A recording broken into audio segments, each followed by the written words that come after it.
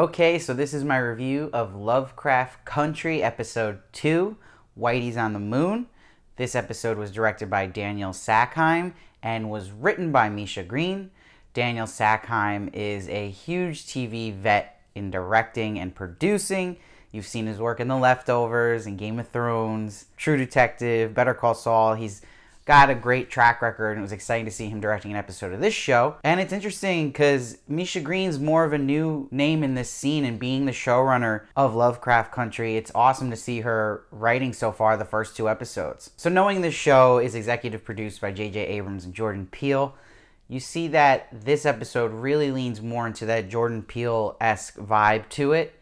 And what's interesting is if you listen to any of the Jordan Peele commentaries, particularly the one on Get Out, he talks about how obsessed he is with his whole universe he's kind of creating in his head about stories and secret societies and you see that later in the movie Us. So it makes total sense that he'd be attracted to a story like this in Lovecraft Country and it really going now into the culty side and secret society side in this episode. So this episode actually starts out with a lot of exposition. It comes from the character of William. This guy clearly isn't a normal human. There's something up with him, but he explains to our three main players here that the original founder of the lodge is Titus Braithwaite, and he's a cousin to who we'll meet later on, Samuel Braithwaite, and his daughter is Christina Braithwaite, who we'll also get more into. And they build a lot of themes early on here, in particular, this theme about how it ended with Titus by him causing the original lodge to go on fire and killing everyone except one of the slaves, who we'll find out is related to Tic,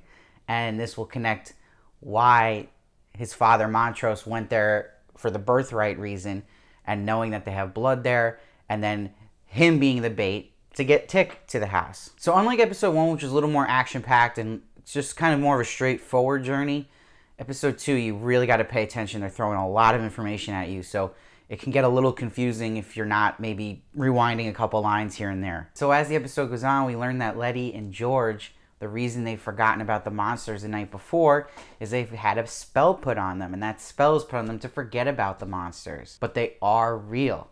And you see this whistle is what gets the monsters away, leading us to see Christina again, the woman who we saw save them with the car last episode. And we'll learn a lot about Christina here and that she's actually a witch, which was really pretty cool.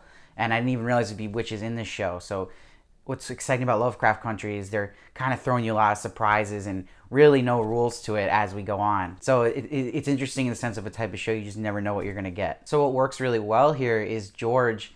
He actually takes a book off the bookshelf that opens a secret door, but the importance of this is the book he actually finds. Titled The House on the Borderland, it's from 1908. It basically is the basis of this whole episode. And you'll see George later on when he's talking to his long lost love, he's hallucinating, he explains that story to her, which matches the plot of this episode. And what's interesting about that story is was also a big inspiration for H.P. Lovecraft and his work. He's been quoted in saying that. So again, connects to the Lovecraft theme of this all. And the attention to detail this show brings is really phenomenal, especially in just two episodes. And it continues here when then George finds another book titled Order of the Ancient Dawn, which is inspired by a real book, Order of the Golden Dawn, which was a secret society in the early centuries committed to studying and practicing paranormal activities. So, already from that book title, you're getting an idea of what we're getting into with the society we're meeting in this episode. So, we'll see when Tic is brought into the lab here by Christina to meet her father, Samuel. Samuel is obsessed with the character of Adam from the Bible and believes he is the Adam in his story. And he's literally sacrificing his rib here that he'll eventually want to feed to the other lodge members later in the episode. And you learn more about Christina here in her reactions to her father because her father quotes the Bible. It explains his motivations. He wants to have immortality here, go back to the paradise times before it was messed up, and how she makes a joke how a woman in Eve messed everything up. She basically hits at that biblical literalism is for the simple minded. So you see that Christina is this complicated character. You don't know really where she falls yet and it was good casting to have Abbey Lee play her because her natural presence on screen, it's kind of alien in a sense because he just kind of like, what's the deal with this person? Like, there's just like this mysterious just vibe she just naturally gives off. So I really like this montage here where when we see Christina's spells and what she's capable of as a witch, that Tic is constantly testing her just to see if he can actually trust her when she says she wants to be his friend.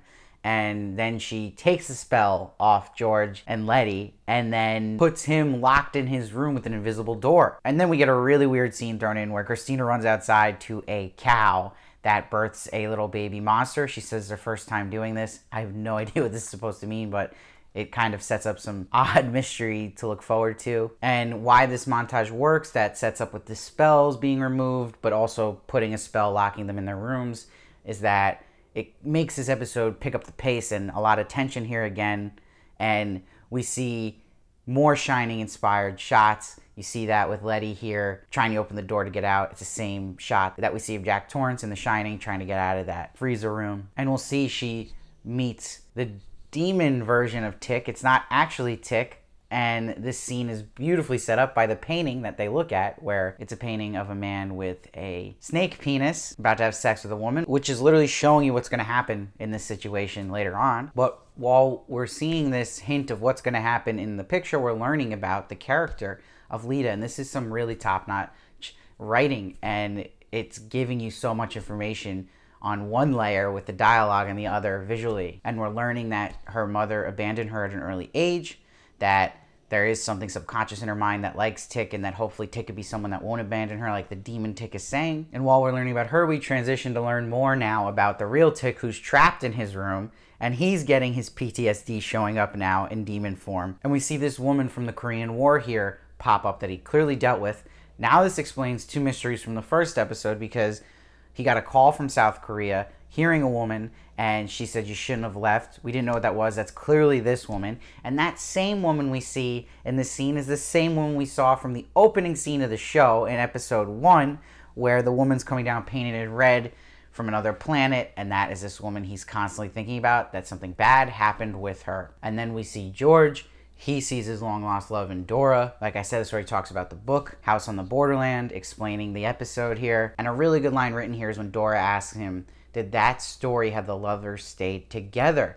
And he says, yes, because the house collapsed in the end. And that's exactly what happens here. It's tragic and sad and leads to George's death paying off so well because he will die in the end due to the house collapsing. Because if the house didn't collapse, we're to trust, as Christina says, that Samuel would keep his end of the deal and keep George alive. And this will lead to George being reunited with Dora in the afterlife forever. And what's crazy is when we see the snake wiener actually come out here, it then cuts to the whole society here watching them through the walls, which was really cool. So the symbol of the triangle is so important in this episode, and you see it a lot because it's connecting to the all-knowing eye symbol, aka the eye of providence, which you see on dollar bills, which is connected to Illuminati, and in that triangle there's that eye and you see the symbolism here of just this secret society being in the middle as the all-knowing eye with the triangle around them of our three main players. You also see in the next scene when they come out of their rooms, they're set in a triangle, and you see that earlier in the episode. You also see that when they see the monsters in the woods, they're always in this triangular position. And as you see these rituals go on, you see the robes they wear have the eye with the triangle around them, you see it on the floor. And in the last scene, when Tic is actually in the sacrifice, he has the triangle around him with those like laser beam things. And what adds more to the payoff of George passing and making it really hurt and you feel for Tic losing him is how he's such a comforting ear to Tic when Tic is hard on himself about the war and what happened with this girl. And you see that in his scene when he comforts him and Leti. So it, you're to miss George here as a character, but it makes sense that he went. They were already foreshadowing in episode one that he was to have a short life here because he has all these big emotional moments early on. And you need that for Tic and Leti to grow as characters, losing kind of what keeps them safe and really give them a challenge coming up. And now we finally find the father. He was in that stone building guarded by that crazy lady Dell and the dogs, and he was trying to dig himself out. He comes up and then he joins them, but you see he's already pretty much a prick to Tic here by saying I only asked you to come because I was under duress with that letter. So you see Tic is hurt by that. Montrose is a totally different breed of personality than George. But George, again, having more exposition here, he's telling them in the car when they're trying to escape that there's multiple lodges throughout the country. And this one in particular is called the Sons of Adam. And their goal is to get immortality. And when they connect all these dots, just hit by an invisible wall here, which was pretty crazy. And Christina and Samuel appear. Samuel shoots Leti and shoots George. This will lead Tic in this ritual that they need him for in his blood, and we learn here that Samuel believes this ritual will lead him to the Garden of Eden and eternal life. But Tic has an important line. He's like, "Look, that doesn't that didn't work for Titus. What's the difference here?" And that's an important theme here because Samuel thinks he can pull this off and doesn't learn from history in the past. And that goes with that theme in this episode about not learning from our past and repeating the same mistakes. And you see Tic's trying to get at Christina because he's like, Your dad doesn't give a crap about you. Why are you helping him? And we learn more about Christina here because Christina says yes, they've done terrible things, her family and this society, but she still struggles with her dad's approval here, helping them when they need it. And she even admits it's pathetic. And because she calls it family, it makes it seem okay. And you see her jealousy and that anger she has and bitterness, where she's just like, a black man in its own right can get a ring and she can't. So she's got this just weird thing going on with her, and it's gonna be interesting to see where she kind of falls at the end of the day. But you see, Tic notices there's areas to break in Christina, and it really does a good job of explaining why Christina even saved them last episode in the first place. And it wasn't all for good; it was just also to accomplish the goal of getting Tic alive safely to her father. So we get more info now into Montrose and George's relationship and what George was talking about in the last episode, how Montrose had the brunt of it from their parents, and you see here they talk about story Montrose was beaten silly by his father, and George didn't even know this example of it. And just props to Courtney B. Vance here. He does so well across the board in this show and really hits just in his voice how emotional and important moments and lines are he's saying. Especially when he says the line, I've been shutting up far too long, hurting the ones I love, which was set up in the last episode, and Tic feeling that way about him, and that he kind of turned a blind eye into the way he was raised in the same way he felt about his brother Montrose. And you see, he always had that personality too, because in that same scene last episode, when Lita and her brother are just in a screaming match in the kitchen, he always takes the angle of like, that's their business. But maybe sometimes you would look at it as turning a blind eye. And then he says this important line to Montrose, he might not be yours, talking about Tic. This sets off Montrose and adds us as the audience to think, what does he mean by that?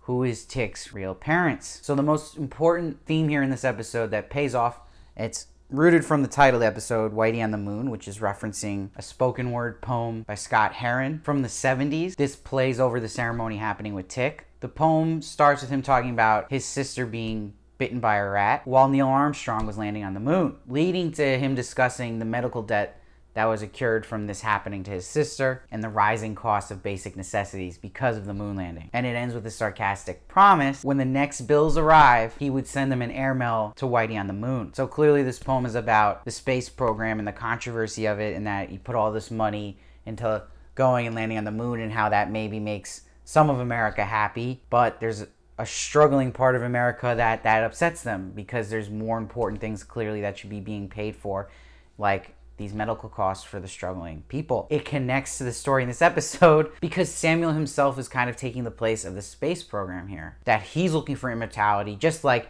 they were looking for this next level of achievement, getting to the moon, but while having others suffer for that and someone else paying.